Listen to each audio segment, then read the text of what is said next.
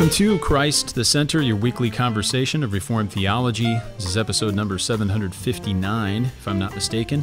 And I might be, sometimes I am. But my name is Camden Bucey. I'm in Libertyville, Illinois, at uh, Reformed Forum's headquarters in the new studio. And I have with me uh, Dr. Carlton Wynne, who is Associate Pastor at Westminster PCA in Atlanta, Georgia, as well as Adjunct Professor of Systematic Theology at RTS Atlanta. Welcome back, Carlton. It's good to see you. Good to speak with you again. Thank you, Camden. Feels kind of weird not having uh, Lane with us, Yeah, but no. we'll we'll have to manage. Certainly. And uh, we're looking to try to schedule another Van Til group if people are wondering. Uh, that is definitely in the mix, and um, we just need to get to it. It's not that uh, we're unwilling to do those episodes uh, more frequently, it's just often uh, Carlton's a pastor, Lane's a pastor. Uh, and then uh, all three of us have a bunch of things we're doing on the side. so, like, Yeah. sometimes it just uh, takes some time to get things scheduled out and uh, in the mix, but they're on the way. Along with the Van Til group, we're working through uh, in or along with Vos group in Van Til group, we're working through uh, Defense of the Faith uh, slowly, but it's been really solid. It's great to revisit that. Today, we're going to be speaking about uh, another new book, a different book, uh, titled Theology for Ministry How Doctrine Affects Pastoral Life and Practice. And Carlton has a chapter in this book. This book has been edited by Rob Edwards, uh, John Ferguson, and our good friend Chad Van Dixhoorn. It's a festschrift to uh, Sinclair Ferguson, and it's published by P&R Publishing. Uh, several copies of it were given away, I think, at T4G, and I've heard also the Shepherds Conference. And uh, for those of you who do not have a copy, we will we are accepting pre-orders right now. If you head on over to reformedforum.org/store, uh, we'll have pre-orders available. We are uh, let's see here in my notes offering it for $29.99. That's a savings of 25 percent. So we'll get that shipped out to you, free shipping in the U.S. as soon as it arrives to us. And I hear it's either August 2nd or August 3rd is the the release date. So if you'd like a copy while while supplies last, uh, we've got pre-orders available right now in the store. Along with that, I've got a book on Karl Rahner. Finally, that book is back in stock. I think it's in stock in our store for the very first time. So if you're interested in that, we've got a good sale on that as well, $14.99. And I'm debating starting a reading group on that. So if somebody would like to uh, join in and in a smaller group, maybe we'll meet once a week or once every other week on Zoom uh, to work through that book and talk about modern Roman Catholicism and how Rahner fits into that and how Rahner compares and contrasts with confessional Reformed theology, for example, and what we've been calling the deeper Protestant conception. Uh, certainly, uh, that might be of interest to you. So let me know if that's the case. Head on over to our website or send me a note uh, at Camden Bucey on Twitter or uh, at Reformed Forum or mail at reformedforum.org email address. So Carlton, um, we've got you lined up here. We're speaking about uh, you. You've got pride of place. So after the editors have done all their front matter and introductions, bios, and all that kind of stuff, we've got boom, Carlton Wynne, right up front on this book. Hey, man. With the it's chap- not it's not because of my name. It's only because of the topic. Well, isn't this the great place to be on? Stand on the foundation of God's word. So the the the chapter is Scripture, foundational for life and ministry. I love this chapter. I'm looking forward to talking to several of the contributors for this book. Let me just before we get into your chapter, Carlton. Um, we've got. Uh, I'm I'm not listing all. This is probably not even half of the contributors. But we have Cornell Venema, who's president down at Mid America Reformed Seminary uh, Ian Hamilton, Lane Tipton, who's got a spectacular, wonderful article in there, The Doctrine of Christ, Phil Ryken, Dennis Johnson, Ligon Duncan, Joel Beeke, David Strain, Bob Godfrey, Craig Troxel, you name it. There's many, many more. So this is a this is a hefty book and an important one, and I think it goes to show um, just the impact that Sinclair Ferguson has had on so many different people that he would uh, warrant uh, a festschrift of such such magnitude. So get a copy of the book if you don't have it. If you don't like two or three of the chapters, so what? There's like 75 other ones that are that are worthwhile. And uh, they all have a particular character to it. And that's where I wanted to start with you, Carlton, because uh, the title for this book I think is rather apt. And a lot of times festschrifts, I'm not high on festschrifts. Um, this one is good, really good. But generally speaking, festschrift can be thrown together, and and uh, the editors might just ask a bunch of people, their friends, and maybe some people loosely connected with the person they're seeking to honor, and there isn't a direction uh, or or a real I don't know common thread that goes through all the works. And often a festschrift that gets thrown together, it's just typically guys willing to contribute, but they basically just contribute whatever they had on their hard drive or whatever they happen to be working on, rather than writing something that was specifically tailored to this celebratory writing, a festschrift. And I think here in this book, with its title, Theology for Ministry, the editors have really accomplished something significant in writing a significant book where in the chapters, um, at least all the, the ones that I have read, I haven't finished every one, but where they're all working towards uh, a real legitimate and substantial connection between doctrine and pastoral ministry. And that's a difficult thing to do. And I see that certainly in your book. But I wanted to start before we maybe even get into that, ask you, Carlton, about your when you were first introduced to Sinclair Ferguson, not maybe the man first, but uh, at least the ministry and some of his writings. How did you encounter Ferguson and, and then eventually how were you led to write a chapter in this festschrift? Well, thank you, Camden. It's it's a bit difficult to answer that question uh, because I really can't claim a deep friendship with with Dr. Ferguson at all. I've never had him as a professor, um, and yet I would say, along with, I mean, I know I'm speaking for many here, but as I've grown up in the Reformed world, um, aside from R.C. Sproul, I would say Sinclair Ferguson has been an unofficial teacher of mine for so many years, so many others. Um, you know, when I'm driving Sunday morning to church, sometimes I will throw on an Alistair Begg sermon or uh, a Sinclair Ferguson sermon yeah. just to get the juices going. And mm-hmm. and uh, Dr. Ferguson's work on union with Christ and all the things we've come to know and love from Dr. Gaffin filtered through. Oftentimes, Dr. Ferguson has just been a boon for me spiritually. And I, I remember hearing that, you know, back at at Westminster when both Ferguson and Gaffin were teaching there, uh, Ferguson would say uh, in his quieter moments, you know, students come for Ferguson, but they stay for Gaffin. but I, but I know, I know that there are so many around the world uh, through his many years of service who have just been blessed enormously by his wide-ranging ministry in a variety of contexts through his books, uh, certainly in the various Christian institutions in which he's taught. And I would say for me, it's it's come just listening to his sermons and um, and reading his books. And then during the years at Westminster, I began to have a little bit more of a personal connection with him as he would come in and and teach occasionally, and um, especially there at the end.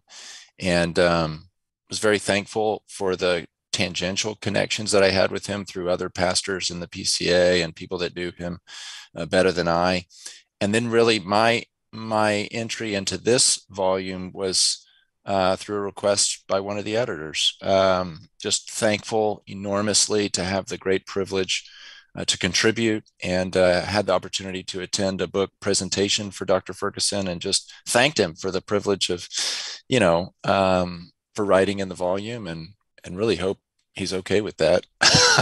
no turning back now. But on your point about Festschriften, uh, yeah. I have a dear friend who will remain nameless who says who says that uh, there are a number of types of publications where good essays go to die, and and number one on that list is uh, you'll get a kick out of this. Number one on that list is uh, conference addresses that are formed into a book.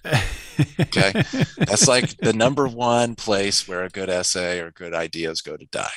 Number two is in a festschrift because of the reasons that you've already articulated. However, this book, as you pointed out, has an integrated systematic theology type organization that makes it more than than a festschrift and it's designed to be you know marching through the main loci of of the theological corpus and and really trying to intentionally connect that to the practice and life of pastoral ministry. And each author, I think, brings his own stamp, his own personality, his own interest to that. But at least there's an attempt to ground these practical implications in the doctrines that we confess. So for that, I'm, very thankful yeah. as well. Yeah, no doubt. you know, Festschrifts, uh, I, I appreciate the point. Uh, perhaps the most unique Festschrift that I've ever read is Jerusalem and Athens, which Yeah. is a Festschrift for Van Til. I don't know if that is a typical practice, if that format is perhaps an older practice or if it's relatively unique. I, I don't know. I don't know the history of of Festschriften. But um, Do you is- want to tell our listeners what makes Jerusalem and Athens? Well, yeah, So That's what I mean. It's it's uh, not only were there critical essays where they invited a whole host of people who were criticizing Van Til, which is unusual because Yeah. usually the Festschrift is you know kind of like uh, you know celebrating someone, and, and there are some like that. But even the friendlier ones still are criticizing Van Til for various things, and then Van Til wrote responses to each of them yeah, that are included in the Festschrift with and and it's thoughtful interaction. So it's really almost a I don't know if I'd quite say it's a magnum opus, but it's it's a Yeah, here it spectacular book. Yes, that's uh, one copy of it. I got a couple different versions of it laying around, but um, there are um, it it puts on display Van Til's thought life and his theology as a whole, and then you get this wonderful bonus of him interacting with it, and that took him away Yeah. from other academic work for about a year, I think. When we were when I'm reading through the letters and other projects he could have done, this hmm. was flung upon him. But I think we're better for it in the long run to see him interact with some of his most major critics, at least from within the Reformed world. This book is not like that, you but I don't know any others that are really. I don't either. I just think it's hilarious that in Van Til's Festschrift, he's got these critics who are just Right. slamming his work and he's responding. Have you ever noticed that on the cover of this, Yeah. at least in this edition, it says critical discussions on the philosophy and apologetics of Cornelius Van Til. Uh-huh. And then you open up to the title page and it says critical discussions on the theology and, uh, and apologetics of Cornelius Van Til. It's like Yeah. it's like the editors couldn't figure out whether he was a philosopher or a theologian in the subtitle of the book. But That's true. I suspect that probably has something to do with the marketing department and the cover and the dust jacket was made later. So the original copy, um, well, all my Van Til stuff's in a different room at the moment, but uh, the original copy, I think, is a green hardback that had a dust jacket that looks like that. My suspicion is the dust jacket was either redesigned or created a little bit later by a different group of people other than Geehan, uh, perhaps. It's a guess, total guess. I just know how this stuff works sometimes. yeah, yeah. so they thought, well, we can we can sell more of this if we pitch it towards philosophers. Or some Yeah. people picked it up and realized this is this is like a philosophy book. This isn't just theology. And so they probably changed the title of it or the subtitle of it and then revamped the um, the dust jacket, which you could easily just swap out dust jackets or have them printed later and put on there rather than you can't necessarily have all the books reprinted, for example, if they were already printed. okay. Total total speculation, but it's This informed. this is why I'm talking to a professional. I don't know that. I dabble. you, So later copies, like the paperbacks that we have, just look like the hardcover with the dust jacket. So I think Yeah. they just perpetuate the the divergence between the front matter and the cover for that reason. But I'm guessing if we're going to do some uh, historical work, that's there's a paper for somebody right there. That you're ready made. You you tune in to to Christ the Center. You students, uh, you know, looking for paper topics in your church history courses there's a ready-made paper for you. Go to the onto the Montgomery Library at Westminster Theological Seminary, browse around, you know, the early 70s, mid 70s when this book was written. Look for any any uh, letters back and forth with uh, Geehan, the editor, and and you might catch a thread that'll let you and know then what happened. and then do a deeper dive on the relationship between philosophy and theology and the thought of Cornelius Van Til. Yeah, but you could you could string this out, you know, to a whole life career of of something. So you got to start somewhere. Just start with why the cover's different than the front. Okay. Yeah. I find it to be symbolic. I appreciate you pointing that out because I never even noticed that. So there you go. You know, on there's something symbolic about it because on the surface you're thinking you're going to read about philosophy, and then you Right. actually get into the book, yeah. and, and you get And into the not there. corpus of Van Til, and You're you realize, hey, this is theology, not It is. philosophy. Well, that's the big question. Yeah. Or Oh. I, maybe I shouldn't put it so uh, in such a binary way. Right. Uh, it there's a lot of you're going to get us started. There's we'll is another this for. Van Til Okay. Group, and when Yeah, we yeah, get into yeah, the sciences and Scientia Okay. with with all that uh, with with Thomas, perhaps it's a it's another discussion.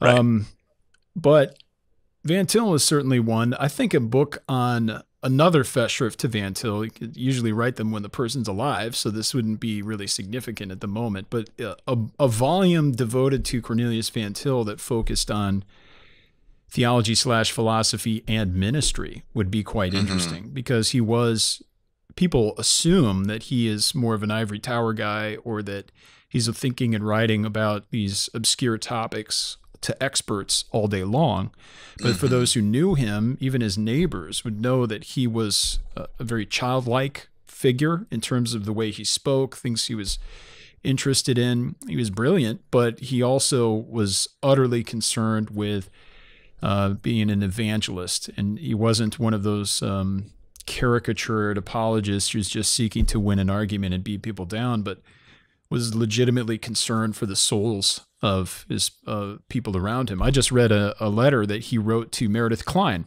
It's a little bit of a um, of a leading edge thing here, uh, hot news here, news release that uh, the OPC has just received the uh, the the historical archives of Meredith G. Kline, and so now Mhm. Danny Olinger, who's the president of my committee there, is working through those along with John Muether, and they've been sending me some pictures and scans of Mm. various resources. But there was a letter in there from um, Van Til to Kline. So there's a bunch of letters that don't exist in the Westminster archives because Van Til wrote them and sent them, and if he hand wrote them, they weren't typed out in carbon copy those those pink duplicates that we have. Most of the official letters that are in the Westminster archive, especially in the 40s and 50s, are all on these pink duplicates because he typed the letter, but they were typed on carbon copy or similar technology. This is this is where CC comes from on your email, you millennials and Gen Zers. But the Gen Zers don't even know what an email is. So um, anyway, we're working on that. Yeah. Well, that's fascinating. We're getting into the Kline. weeds here, but he That's the, great. The point was he went to an event uh, on secularism and secularization. I think he was with Paul Woolley, and they were at this like lunch event, and the guy gave a presentation, and it was just completely devoid of the gospel. And he said that you know what people need most is what Van Til says what Machen used to call animal comforts. You know, uh, basically just food, shelter, water, like Maslow's hierarchy of needs kind of stuff.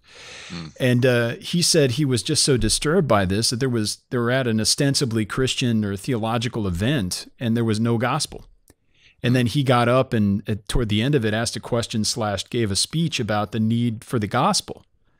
But he said that he made some blunder initially where he he uh, used secularization and secularism as synonyms, and then he said everyone there wrote him off after that point, even though that was basically made no difference regarding the point of needing the gospel. He uh, he wasn't heard, but that just goes to show his heart that he wasn't there just trying to make an academic argument or a philosophical argument, but he was legitimately concerned about the souls of the people there who Yeah. had no concern for the need of Christ's life, death, and resurrection, and how that was the fundamental need for people. Yeah, Um, that- that they need Jesus. So That's a question a that book every like this, uh, like Ferguson's for Van Til, would be worthwhile. But Yeah. Dr. Ferguson having the wonderful blend between scholarship and pastoral ministry, certainly I'm I'm I'm delighted that this book exists to highlight uh, that connection, that we don't fall into the the trap of thinking that Dr. Ferguson is just a scholar with no practical import or application. Right. I, I think Dr. Ferguson and and uh, understands that every pastor needs to answer the question what what just as you put it, Camden, what what do people really need? And if we're not feeding them the very word of God and the and the and the theology of the word of God and the Christ of the word of God ultimately, then we're not feeding them any lasting food. So I, I hope to just bend our way back to this particular book. Yes, I sir. hope that this is helpful in working out the theology of Scripture for the sake of feeding the flock of God. you remark on page uh, two, it is, of the book. We're working to the PDF here, that these new copies of the book will be coming out shortly. But you remark no aspect of the doctrine of Scripture is more basic for understanding what the Bible is than its inspiration. So you and I know that you know where we went to seminary had its struggles on the doctrine of inspiration. Some of those were cleaned up and they were the seminary was in a different place when you arrived on campus for your phd when i arrived on campus for my mdiv it was in great turmoil with uh, dr enns teaching in old testament. I had him for two classes. I really love the guy but don't agree with his doctrine of scripture much at all but um, we're you know in the in the 2007 to 2011, especially in the at least Westminster circles, there was it was highly contentious, and um, thankfully the, the an Orthodox confessional doctrine of Scripture, I think, has carried the day as it ought to. But in a day really that still can that that that uh, inspiration continues to be a contested issue. I mean, why do you contest this so strongly uh, at this point? why is inspiration um, so significant, perhaps the most critical thing that we could give our attention to regarding the doctrine of Scripture? And if that's true, how come it's so contested among so many people, even in conservative circles? Yeah, well, great question. I think the reason that I wanted to make that point at the beginning is that it's true. well, that I, I mean, think that that that if we're to understand what the Bible is, yeah. it's imperative that we understand the nature of its origin and authority as the very written word of God. And it's the doctrine of inspiration that tells us how did this Bible come to be? Of course, there's a lot to say about its redemptive historical background and the acts and deeds of God in history, but when it comes to the actual production of the text of Scripture, mm-hmm. as holy men were carried along by the Holy Spirit, as Peter puts it, we have to understand the nature and fact of organic inspiration. As to why it's contended, it's a it's a point of conflict today. I think one dimension of that has to be, at least historically, the influence of Karl Barth and his emphasis on Christ uh, being the primary doctrine through which we see all else, and and and he believes that inspiration fixes too much uh, divine authority and activity in the very text of the Bible. But right. of course, that's exactly what we want to do. Mm. Not to deny that the Holy Spirit is not living and active, not to deny that the scriptures lift our eyes to the Christ of history, the Christ of heaven. But if we don't have inspiration, if, if, if the Holy Spirit is not the primary author of Scripture, then what are we doing uh, with the Bible? We, we, we're, we're playing in a sandbox with, with, with human words that may be high sounding and may be uh, inspiring the way that uh, a symphony can be inspiring to our souls. But we, if we're to be preaching and teaching the very word of God, we must understand that this is a word that comes from the very mouth of God, uh, mediated by by men, to be sure, but men who were who were providentially guided to write the very words of God, the living and active word of mm-hmm. God.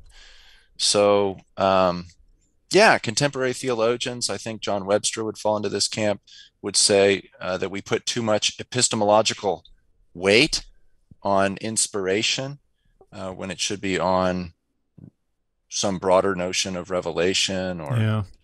or even the person work of Christ but the way we have access to the special history of of God's accomplishment of redemption is through the scriptures and the reason we can trust the scriptures is because they are from God and the way they come from God is is by the operation of the Holy Spirit uh, in His work of inspiration. Mm-hmm. Um, can you explain more of what the doctrine of inspiration is? But I'm also very interested, and you, you treat this in the chapter, of what it is not. When when you're speaking of um, confessional, and I'm, I'm thinking primarily of the Westminster Confession of Faith and catechisms, uh, but also just the broader Reformed Orthodox tradition. for in brief, what is yeah. the doctrine of inspiration regarding Scripture, and and what is it not? Uh, how do we make sure okay. that we don't make the mistake of thinking that it's something other than what it actually is? Yeah, well, the text that I go to here at the beginning of the essay is 2 Timothy 3:16.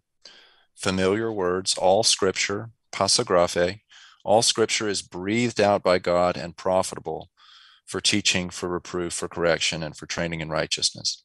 Okay, that, that initial clause, all scripture is breathed out by God. Uh, the Greek word there used only one time in the New Testament is theopneustos. And I think Warfield still has the definitive uh, scholarly explanation of what this verbal adjective is. It does not mean that the text is um, simply inspiring.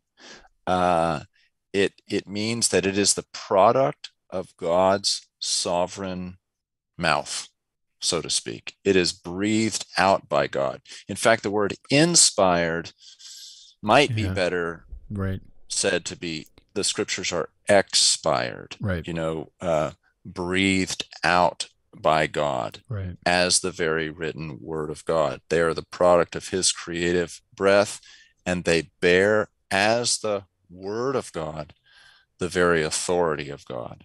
Mm. So, what do we mean by inspiration? We mean that men wrote the very word of God uh, according to the dictates and sovereign work uh, of the Holy Spirit and and that and, and as far as what it doesn't mean it doesn't mean that that this that the holy spirit commandeered all of the faculties of men and made them robots uh, it doesn't mean mere dictation although as vos points out there are portions in the scriptures that sure. come close to what we mean by dictation sure.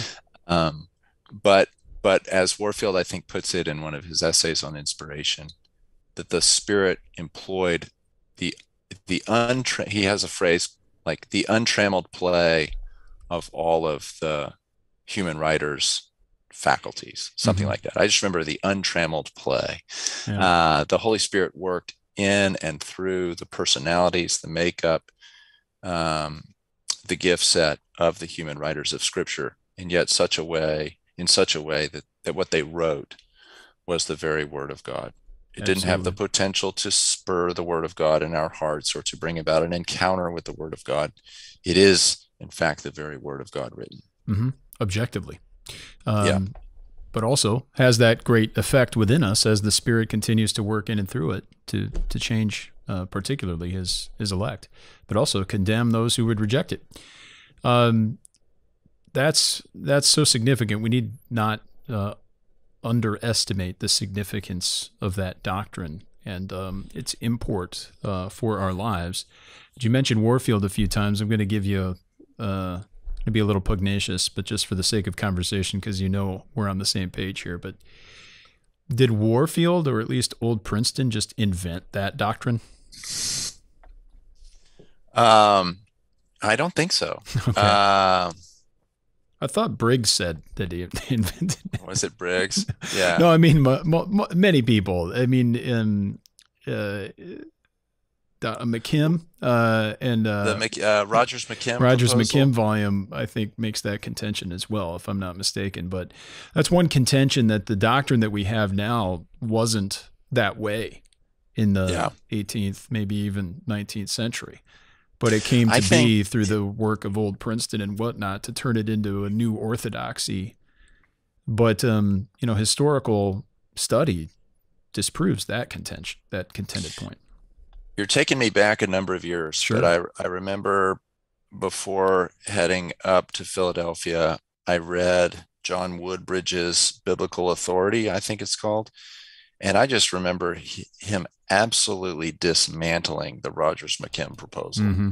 It was the first work I think that I read where, where I just saw a scholarly thesis get absolutely shredded, eviscerated. And mm. what Woodbridge does is he just goes back to the church fathers and the reformers and and walks through their understanding of what the Bible is. And um, yeah, it, it's just devastating. So I would encourage people to read that that work to get a more historical take on inspiration and biblical authority. And I remember years ago hearing R.C. Sproul say in his gravelly tone, "Yes, Martin Luther never used the word inerrant to describe the product of inspiration and as a feature of the biblical text, but he did say that the Bible is without error." so sometimes we can get we can get hung up on sure. you know like especially over the 20th century battles over inerrancy and the battle for the bible in the 1970s and sometimes you hear british evangelicals say well this is just not this is an american debate. It's not a british debate. But um, leave aside those link those those particular battles in America and, and what does inerrancy mean?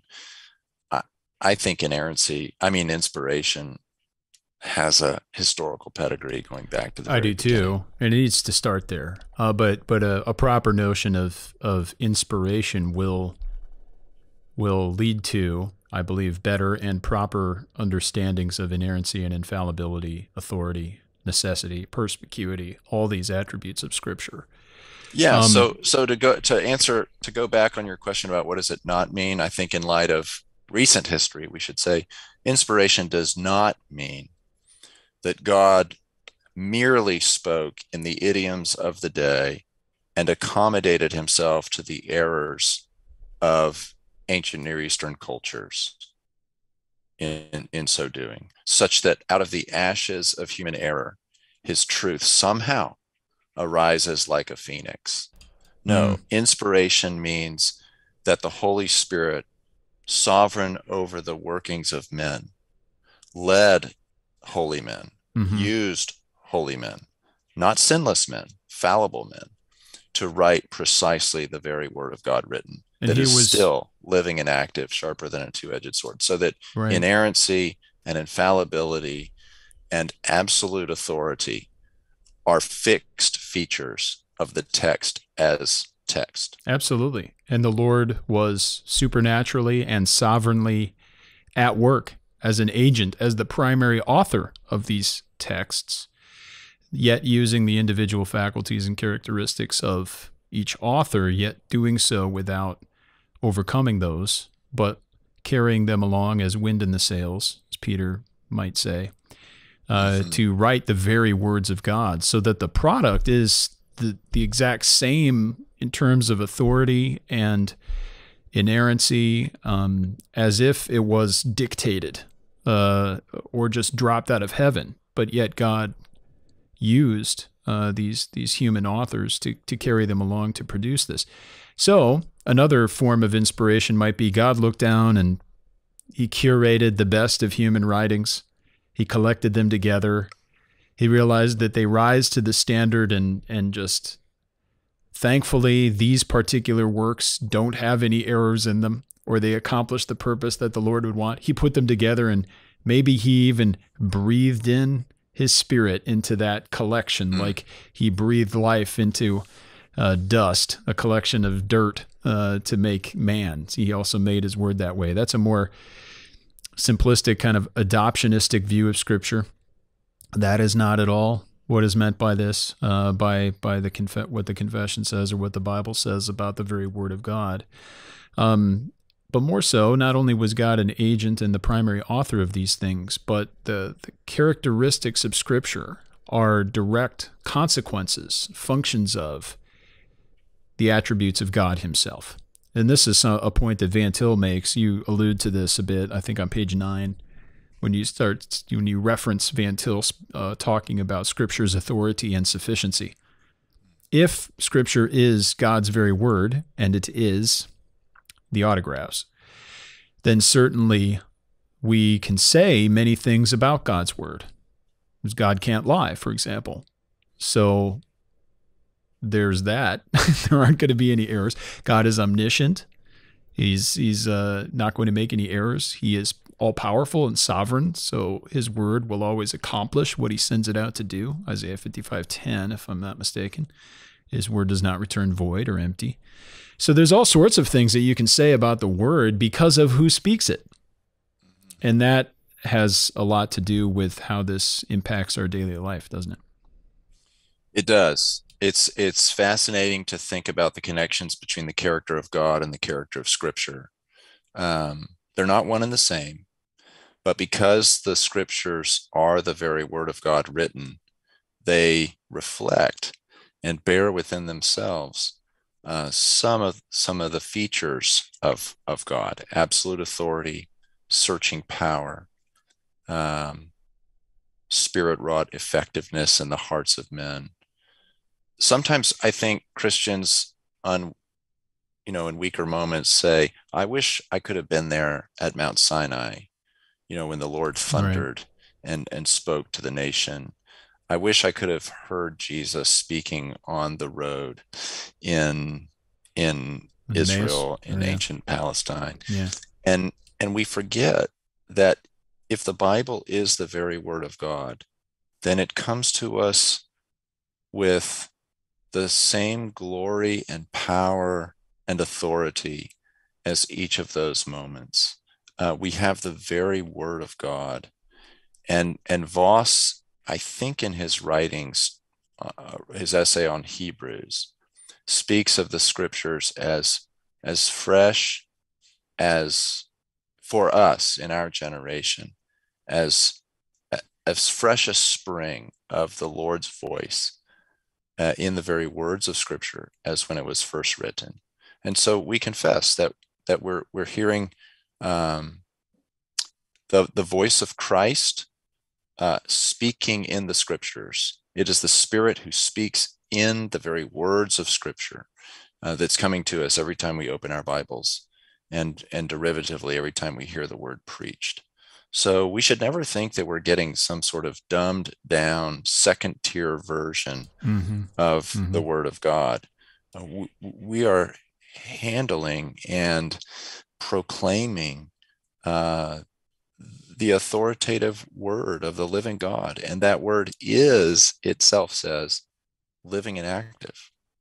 Um, the Holy Spirit is speaking today in the very words of Scripture to our souls and and this is the this is the way God is sustaining and carrying His church uh, to to her heavenly home through this Bible. Mm-hmm. We've spoken a bit about accommodation. At least it's come up. We haven't really do- dove down deep into it. But what is meant by the accommodation of Scripture? Because that I think also reveals something of the character of our God and also the purpose uh, for which he spoke to us and gave us this word. Yeah, I, in writing this essay, I tried to find a way that I could address all of the key attributes of Scripture, but but get to them through a a broader framework. And so, my main three points are that Scripture is inspired by God, it's accommodated to us, and it has a redemptive historical design. And people who read the essay will see that on the first point, inspiration, I try to lead into, therefore, its authority and sufficiency. And under accommodation, I try to get into, oh, what is it? Its clarity and necessity. And then its redemptive historical design, I try to get into scripture's finality and effectiveness.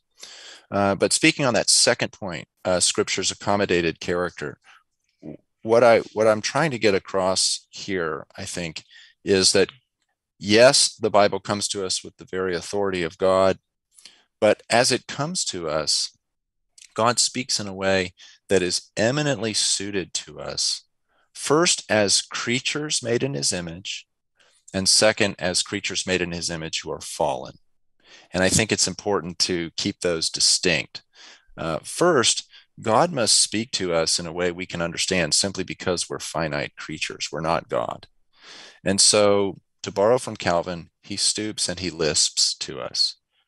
Now, leave aside the fact that when Calvin said God lisps to us, he's talking about anthropomorphic language, which is another conversation. Yeah. But more sure. broadly, God himself speaks to us in a way that we can understand. And he uses anthropomorphic language uh, to do that uh, through and through uh, the scriptures. But we need God to remember um, to remember that we can't handle a full revelation of his glory were he to burst it in revelation before our eyes. We would be consumed by him. And it would be overwhelming to us simply as creatures. Uh, and, and so God accommodates himself in his revelation. He, he reveals to us dimensions of his glory over time. Um, and then the fact that we're fallen, uh, God accommodates himself to our need by not only giving us a revelation of his glory, but doing it in a redemptive way, a way spurred by his his love for his people and and his sovereign intention to bring them out of that estate of sin and misery mm-hmm. into unbreakable fellowship with himself. So yeah, in the second section on accommodated character of scripture, I try to get at both of those. And sure. then and then since God has spoken in a way we can understand what, what are the blessings of that for pastoral ministry, that we have a word here that is accessible, that is understandable, that is sufficiently clear, and that is necessary for the church uh, to grow in grace and to be right. built up in Christ. You start to turn that corner on page 12. You, all of this has been practically oriented. Uh, none of it is um, just thrown in as some sort of uh, academic exercise. But on page 12, at least, you start to speak more pointedly, I believe, about the necessity, sufficiency, and authority of Scripture and how they do apply to pastoral ministry. What what have you found in pastoral ministry? You served as a pastor before going off to study uh, for your PhD. Now you're back in pastoral ministry after teaching in seminary for a while, and you're still teaching in the seminary, but predominantly in pastoral ministry. I've been in pastoral ministry doing what I do now, but it, it, it is you lose sight of this that uh, these have everything to do with one another. The doctrine of Scripture is not just something you study so that you can read your Bible well, so that you can then preach to people. But the actual doctrine itself is so significant when we understand what the Word is and what God does in and through it. I think it it enables us or it, it transforms how we approach the very activities of pastoral ministry in the first place. I mean, would you agree with that? And if so, uh, what are some examples or some ways that you've seen those connections work out in your own ministry? Well, I there are a number, number of things that could be said. I've heard you, Camden, in years past talk about the blessing of of being a pastor who preaches week to week and the benefit yeah. of studying the word of God first for our own soul, which right. has to be, I think, the first step. The, the, the pastor himself must be affected and transformed by the scriptures as he is communing with the living Christ, as he is repenting of sin, as he is fighting for holiness. And out of the overflow of a pastor's heart, uh, he steps in and he preaches the word that he has studied he teaches, he counsels, he prays. Uh, the word and the spirit working by and with the word as we are united to Christ is the heart and soul of pastoral ministry. And I think personally, speaks, you know, moving back into pastoral ministry in these last two years, that has just been a tremendous blessing for me to be able to study the word in all of its breadth and dive into the text of the Old and New Testaments for the sake of of first feeding my own soul, but with a view toward toward building up the people of God. Uh, it's just been a it's just been a wonderful, refreshing, uh, almost unexpected blessing. And I remember talking to the senior pastor here at Westminster, Aaron Messner, and we were talking about what a gift it is I mean, don't get me wrong. We we've got nitty gritty trials here. Uh, you know, we it's there's a persevering dimension, of course, but we were talking about the blessing of studying the Word each week, and he said we're like we're like Moses's mother.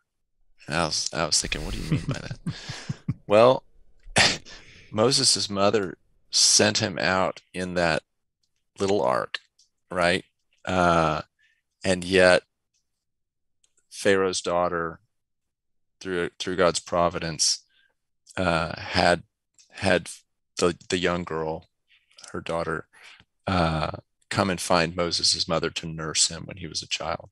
So she had the great blessing of sending him out, but also having the privilege of holding Mm. him near at the same time and and that's what pastors get to do Mm. uh, we we get to send the word out but but we're the ones who are actually being blessed by the word uh, first and perhaps last as we as we get to um, spend time with the lord in his word through preparation I think there's also that's absolutely true. That's something I miss is preaching every week and and uh, exegeting passages, preaching lectio continua. It has an effect upon you, uh, a wonderful benefit. It's a tremendous privilege. I love what I do now, but I mean that's that's probably the biggest thing I miss is preaching more regularly.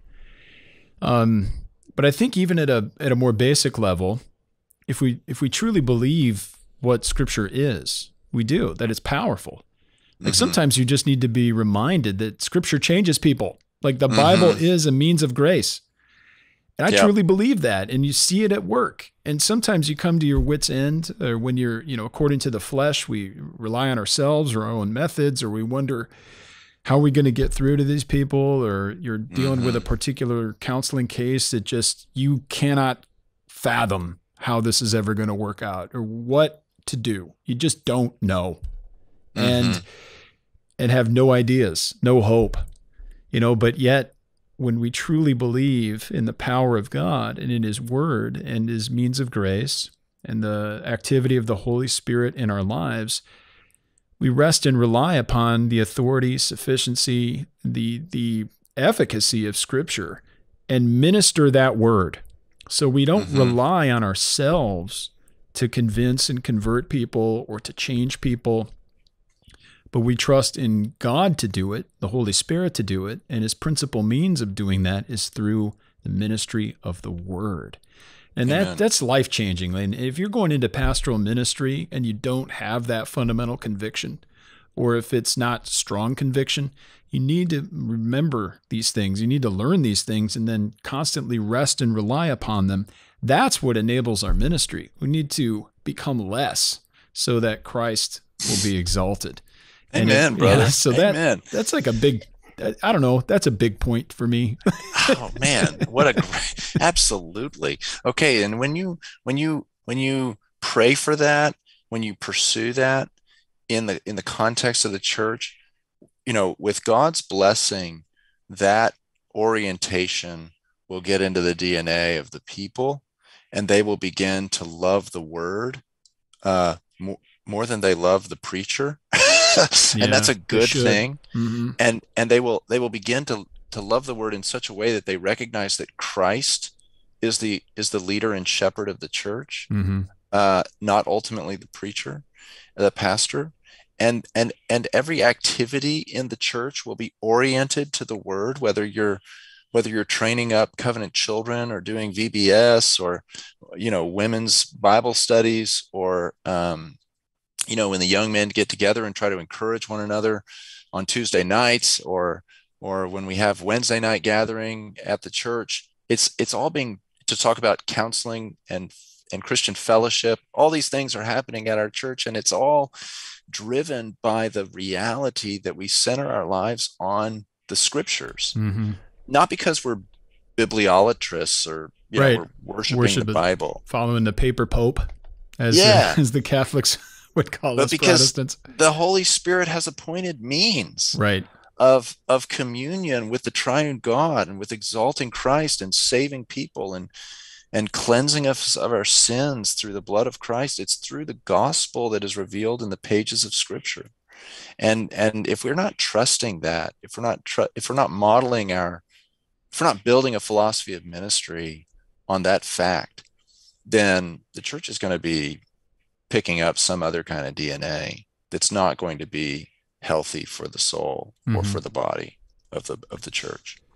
I'm all for having groups and people gathering to study, having events, and or even organizing things around that. But you know, a program centric ministry just for the sake of having programs is totally misguided. Um, if we are people of the Word and devoted to the Word, then that enables everything else, as you've said, rather than making our our hope to be in some method, mm-hmm. our hope needs to be in the Lord and in His Word to to lead us, to guide us, and to change us. His His Word's a lamp to our feet, a light for our path.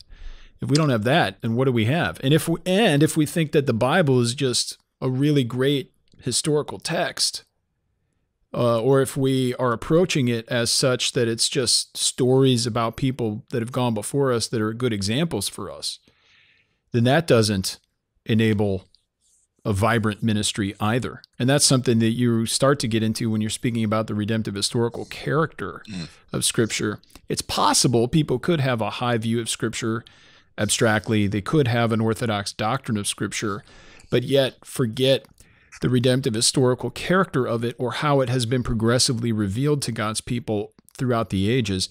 What are people missing if they miss that part? How are they impoverished as as Christians uh, or, or, or lacking something if they stop short of yeah. recognizing this redemptive historical character? So great, so great. I think um, yeah, we, we can have a high view of the Bible and end up thinking, okay, if I just memorize the Bible, if I talk about the Bible, if I think about the Bible, then that's really that's really the end game here. And it, it's it's not the end game. The end game is is union and communion with Christ, being transformed into His image, so that uh, we might we might delight in God as our blessedness and reward, so that God's glory might might shine in all of its magnificence in the presence of many Christ formed brothers mm-hmm. and sisters on the last day. Yeah. But but but if we were to like if that's looking forward, let's look backwards and let's see that the Bible is what it is because of what God has said and done in history. And and it is through his redemptive words and deeds uh, climaxing in Christ and as Christ has commissioned particular people to testify to his person and work, it's through that crucible of history that the Bible has come to us. And, and it is that, that revelatory record of that Christ centered history that presents the person of Jesus to us in, in, in, in his death, resurrection, ascension. Um, and so, if we don't have the redemptive historical character of Scripture, we're going to miss the Christ centered character of the Bible. We're going to miss the way in which uh, God has deigned to present Christ to us.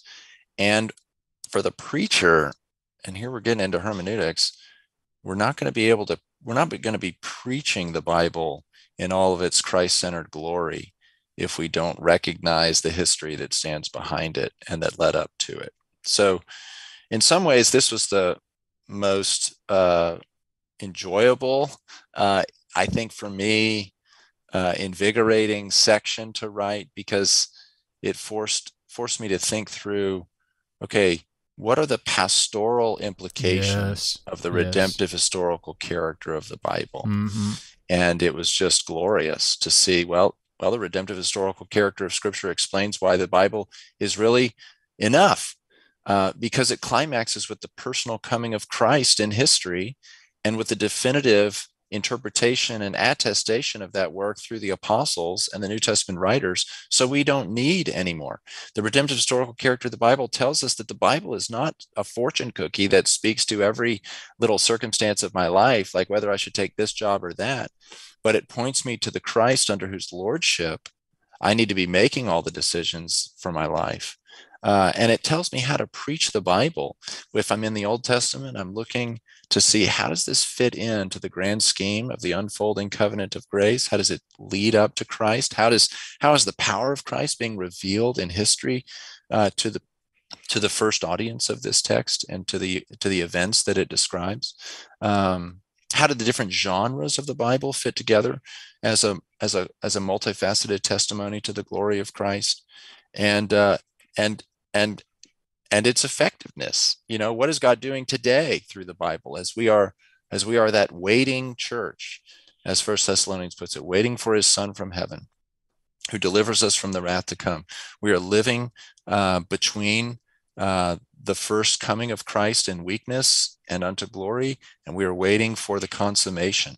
And this too has massive pastoral implications uh, for the church today, as we as we're a pilgrim people who don't live in a theocracy, as Israel of old, as people who are bearing the cross, manifesting uh, the power of Christ in weakness, looking to our heavenly reward.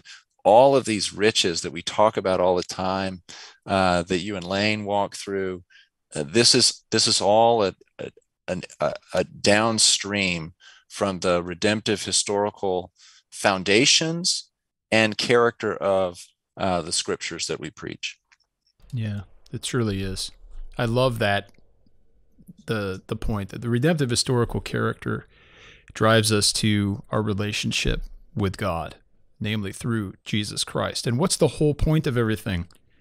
The whole point of predestination in the first place, as you've alluded to, is Romans 8 29, is so that we would, you know, Christ came, and the purpose of predestination is that all things should be glorified, in and through him, he would be glorified, but that he would become the firstborn of many brothers.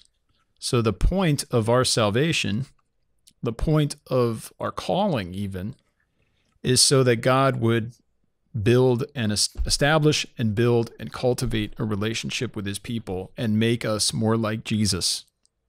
And he's been speaking to his people and encouraging them and instructing them all along the way, starting in the garden, leading all the way through the wilderness into the promised land, into exile, out of exile, you know, through these difficult periods under persecution and tyranny, and then finding true and ultimate lasting liberation through the death, resurrection, and ascension of Christ. We have a record of God's speech to his people throughout the ages, which has an effect and applicability to us. And he continues to speak to us in and through this word. I think it's so critical. I think that, you know, every every uh, doctrine of scripture text or every section of any future ST ought to have a section on the redemptive historical character of scripture because I think so often we read these we read the typical headings, right? And you probably reviewed many of them when you're looking to prepare for this chapter, but very few um, will mention anything, uh, if at all, about this progressive revelation and not just the fact that that's an aspect of the text, but why it's there. That this is a record and a demonstration of God's love and care for his people. And that that's the whole point. I mean, that's that's why God saves us in the first place.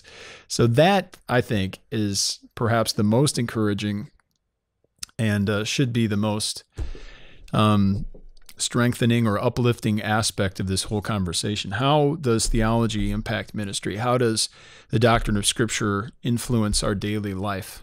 Well, we have a Bible that is a testimony to and an ongoing uh, benefit, an ongoing gift um, and testimony to God's relationship to us and the growth of that and the leading of us unto the day when Christ would return. So well done on that front, Carlton. I appreciate that. Thank you, brother. may, may, I make just one final point on that? Please do. I'll just tell you one of the most precious things I think I I really discovered in writing this is when I was reading a bit of Vos in the early pages of his shorter writings, and he's talking about how the redemptive historical character of redemption, uh, of revelation, is is is owing to the redemptive historical character of redemption. In other words, the word of God tracks with and testifies to the work of God yeah, word in indeed. history. Mm-hmm. And so as God's works unfold through the course of history across the generations leading to Christ, so too his word that accompanied that in every lockstep movement of history comes to us in a historical form. But then on a particular page, and I have a footnote here, maybe I could read, but Vos gets one level deeper and he asks this question Why does the work of redemption proceed historically? And he, he says essentially that it's because the unfolding of the human race unfolds historically. And so I just found that to be so wonderful to think about that that God has accommodated to go back to the notion of accommodation. God has accommodated the nature of our redemption to our historical identity as his creatures. Yeah.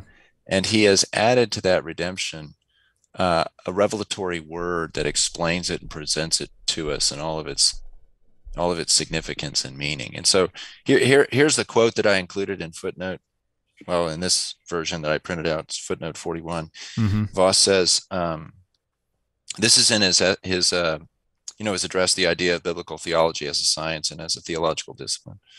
He says, as soon as we realize that revelation is at almost every point interwoven with and conditioned by the redeeming activity of God in its wider sense. And together with the latter, connected with the natural development of the present world, its historical character becomes perfectly intelligible and ceases to cause surprise. So, what does this tell us about our God?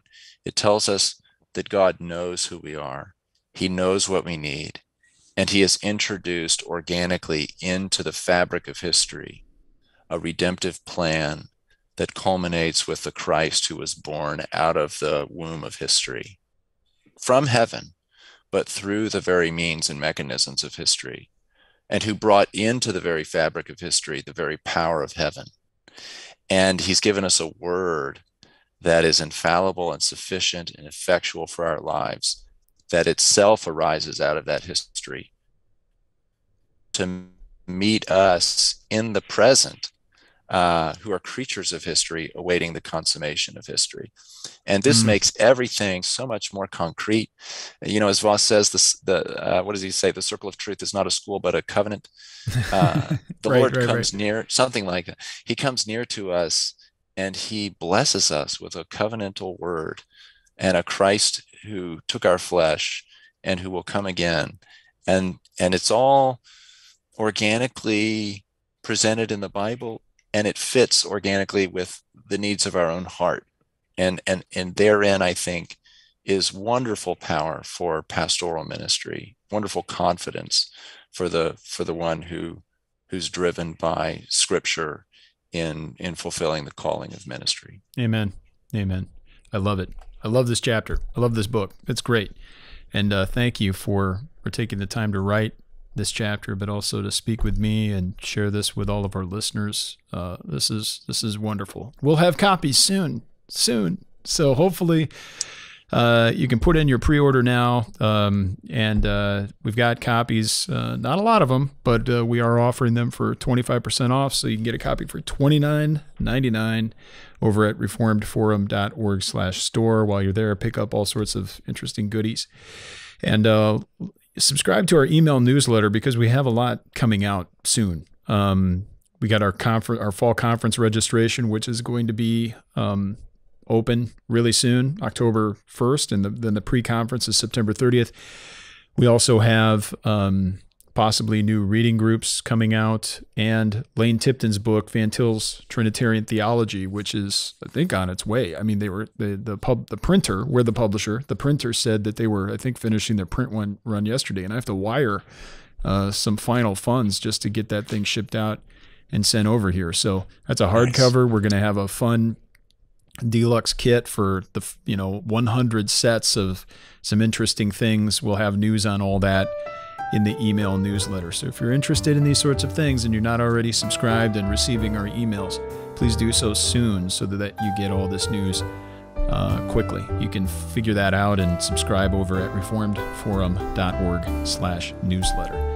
I want to thank everybody for listening and, and watching. Um, this is just a joy. And thank you, Carlton, for taking the time today. We got to get you on more often, and let's work on that Van Til group soon. Thanks so much, brother. All right. Well, thanks everyone for for listening. We hope you join us again next time on Christ the Center.